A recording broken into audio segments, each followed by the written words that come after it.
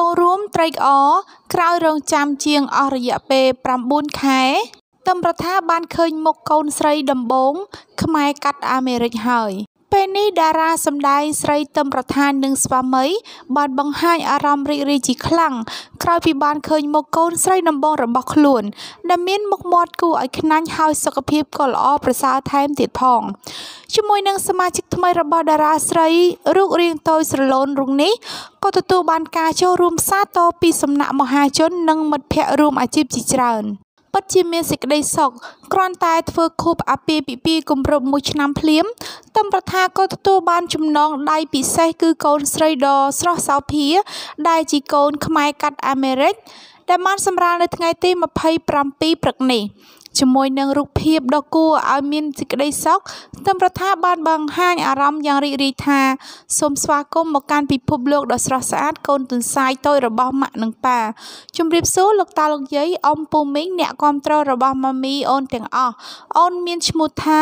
Hailey Apsara Antonio ហៅអូនភ្លៀងអូនកើតនៅថ្ងៃទី27ខែមីនាឆ្នាំ2023វេលាម៉ោង7:01នាទីព្រឹក ជាមួយនឹងការអបអរសាទរចំពោះការទទួលសមាជិកថ្មីរបស់ទឹមរដ្ឋាក៏មានការសរសើរទៅដល់ទឹមរដ្ឋាដែលពូកែដាក់ឈ្មោះកូនជាឈ្មោះខ្មែរបានយ៉ាងពិរោះខ្លាំងត្បិតជាអ្នកម្ដាយថ្មីថ្មោងមែនតែមើលទៅទឹមរដ្ឋាមានមុខមាត់ស្រស់ស្រាយហើយសុខភាពក៏រឹងមាំល្អពេលនេះនាងកំពុងតែសម្រាកនៅមន្ទីរពេទ្យ ឯកជនល្បីមួយនៅក្នុងស្រុកគ្រាន់តែសម្រាលភ្លាមទឹមរដ្ឋាក៏ទទួលបានការផ្ដល់កម្លាំងចិត្តនិងសាទរពីសំណាក់មិត្តភ័ក្តិជិតដិតដល់មន្ទីរពេទ្យដែលមានដូចជាតារាសម្ដែងសារាយសក្កណាអ្នកនាងយ៉ាន់លីដាលោកប៉ែនចម្រុងជាដើមពិតជាកូនប្រសាល្អមែននាយពាក់មីធ្វើផ្ទះជូនឪពុកម្ដាយក្មេកហើយរៀបចំកម្មវិធីឡើងផ្ទះយ៉ាងកក្រឹកកក្រែងទៀត។ ពិតជាមិនងាយរកបានកូនប្រសារល្អបែបនេះទេ តារាកំ pl ែងនាយពាក់មីមិនត្រឹមតែចំណាយថវិកាផ្ទាល់ខ្លួនធ្វើគេហដ្ឋានថ្មីយ៉ាងធំស្កឹមស្កៃជូនឪពុកម្ដាយក្មេកទេ ថែមទាំងរៀបចំកម្មវិធីឡើងយ៉ាងអធិកអធមដោយមានការចូលរួមពីសំណាក់ភ្ញៀវកិត្តិយសជាអ្នកមានមុខមាត់នៅក្នុងសង្គមជាច្រើនថែមទៀត។គេចាំបានថាក្រោយពីសាងសង់ផ្ទះដ៏ស្កឹមស្កៃជូនឪពុកម្ដាយបង្កើតរបស់ខ្លួននៅឯស្រុកកំណើតខេត្តស្វាយរៀងមួយរយៈមក តារាកំ pl ែងនាយពាក់មីក៏បានងាកមកធ្វើផ្ទះជូនឪពុកម្ដាយរបស់អ្នកនាងកាច្រាប់ជាភរិយាដែលមានទីតាំងនៅអ្នកលឿងវិញម្ដង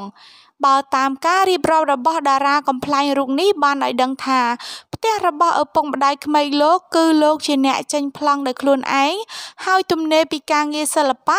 លោកតែងតែធ្វើដោយសារលោកធ្លាប់ធ្វើសំណង់ស្រាប់អ្វីដែលកត់សម្គាល់ក្រោយសាងសង់រួចរាល់ផ្ទះរបស់ឪពុកម្ដាយក្មេកនាយពាក់មីពិតជាស្កឹមស្កៃនិងស្រស់ស្អាតជាខ្លាំង តែយ៉ាងណាតារាកំ pl ែងដែលមានវោហាចាក់ទឹកមិនលេចរូបនេះមិនបានទម្លាយច្បាស់អំពីទំហំថវិកានៅក្នុងការសាងសង់ឡើយ មានការលើកឡើងថាការចំណាយមិនតិចម៉ឺនដុល្លារនោះទេ មិនត្រឹមយកថវិកាផ្ទាល់ខ្លួនសាងសង់ផ្ទះជូនអ្នកមានគុណប៉ុណ្ណោះទេនាយពាក់មីនិងភរិយាថែមទាំងបានរៀបចំកម្មវិធីឡើងគេហដ្ឋានយ៉ាងអធិកអធមដោយមានការអញ្ជើញមិត្តភ័ក្តិនៅក្នុង និងក្រៅរង្វង់សិល្បៈចូលរួមយ៉ាងច្រើនកុះករនៅក្នុងពិធីឡើងគេហដ្ឋាននេះ កាលពីថ្ងៃទី26ខែមីនាឆ្នាំ2023 ទិដ្ឋភាពនៅក្នុងពិធីមានលក្ខណៈសប្បាយរីករាយនិងអធិកអធមជាខ្លាំងនៅក្នុងនោះក៏មានការលាន់មាត់សរសើរដល់សំណាងរបស់ឪពុកម្ដាយក្មេងនាយពាក់មី ដែលមានកូនប្រសារល្អបែបនេះខ្លះទៀតក៏បានសរសើរទៅដល់ទឹកចិត្តរបស់នាយពាក់មី